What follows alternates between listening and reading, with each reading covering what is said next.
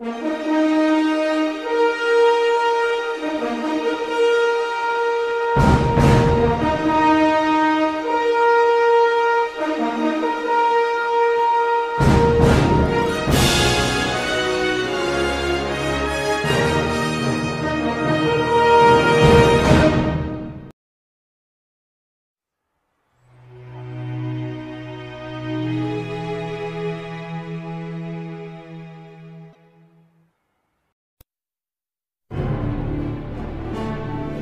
So there I was, face to face with the biggest, meanest leopard on this side of the Serengeti. And You roared so loud, his spots flew clean off.